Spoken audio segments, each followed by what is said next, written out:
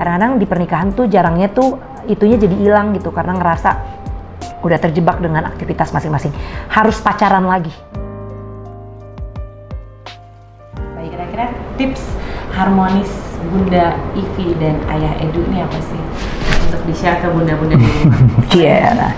Yang pasti kita harus nyempetin eh, apa ya quality time quality time sama-sama deh berdua itu. Hmm. Gitu dan dan dan dan saling terbuka. Ya kan semua ya kalau bisa bisa mungkin diobrolin. Hmm. Apa lagi, Beb? terbuka sih itu yang paling penting. Terus ngobrol sih ya.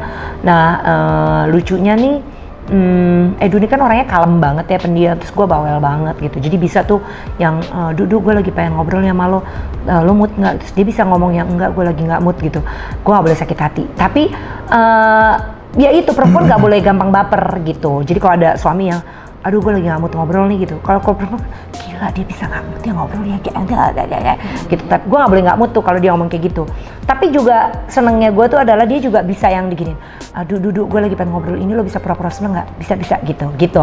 Tapi ada juga yang dia beneran atentif gitu. Jadi gini intinya ngobrol gitu. Kalau nggak suka ngomong.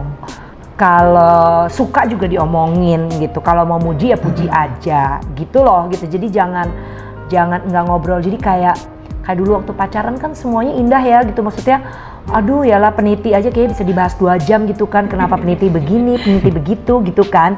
Kayaknya tuh eh, eh, makan bakso aja kayaknya uh bisa bisa jadi indah gitu makan bakso tuh. Eh, pergi di restoran pinggir jalan aja tuh kayak kita bisa duduk lima jam di restoran itu cuman karena ngobrol ngalor ngidul. Lah kadang-kadang di pernikahan tuh jarangnya tuh itunya jadi hilang gitu karena ngerasa udah terjebak dengan aktivitas masing-masing.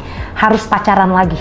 Itu karena sebelum jadi papahnya Kiara dan papahnya dedinya Kiara dan dedinya Zivanka sebelum jadi mutinya Kiara Zivanka kita berdua tuh adalah Ivi dan Edu gitu. Dua individu yang pernah punya kehidupan masing-masing dan pernah jatuh cinta sebagai individu gitu. Sebelum jadi jadi anak-anak eh, punya anak-anak ini. Jadi kita harus punya waktu berdua gitu. Gitu deh ya? Iya, iya. setuju nggak banget. tos dulu dong mantap